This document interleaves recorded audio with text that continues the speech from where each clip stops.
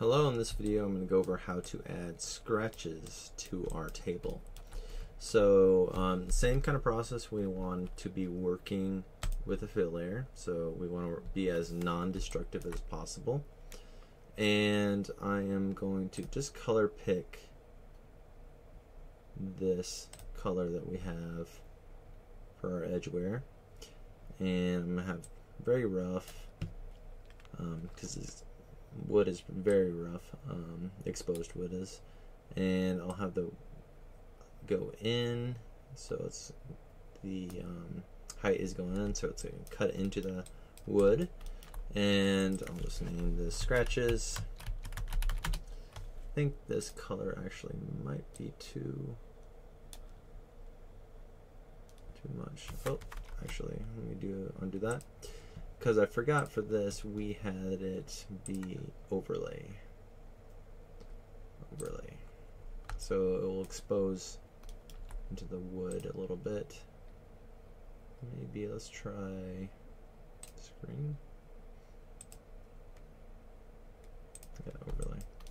So let's try that. And then from here let's because I do that so that I can see the grain even when we have the scratches um, and then I'm going to go over here and add a black mask. And then in the in the black mask, we're going to add a fill. Then in the fill, we're going to find some textures.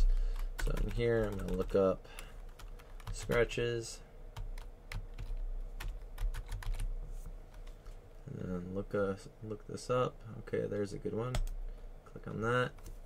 You get these giant scratches. This might make sense if you had like a wolf, like I don't know, a bear coming into your office or something. Um, but we need to change this, so let's go down here, and I want to change the overall scale, and that's usually up here, tiling. So I'm going to bring that up.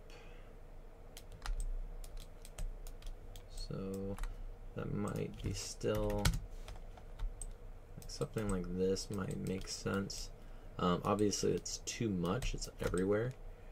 Um, but the scratches that are there look nice. Um, so now I just need to reduce it, and I'll do that the same way that I did it with the edgeware.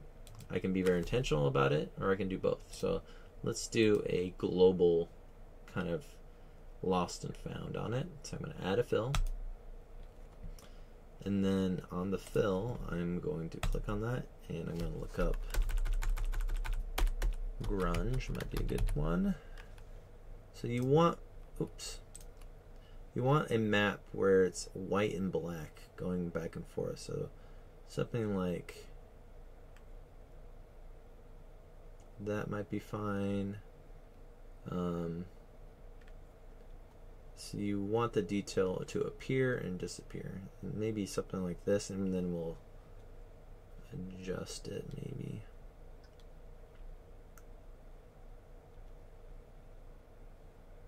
Okay, maybe that's fine. Let's click on that. Um, and then here we'll probably have to change the scale so that it appears and disappears. My dog's snoring next to me. Um, so there we go. And then um, obviously that looks weird, but we need to multiply this. So we're multiplying a black, so we're multiplying away the um, scratches in this in certain areas using that map. So multiply over it. And you can kind of see now, and I can look at my mask to see, so it's it's moving away from those areas. Um, like it, that area here, this, you can see it kind of disappearing once in a while. Um, so what I can do to make this better is I can contrast it up even more. So do that. Um, can change this so it's not so small. Maybe something like that might be good. So now I get a overall lost and found effect. and then I'm going to go to the material. So it's not everywhere, but it's still probably too much. So now I can add a paint effect, and then I can be very intentional about like either I can make make another one of these um, masks, um, or I can just paint out the areas that are kind of bothering me.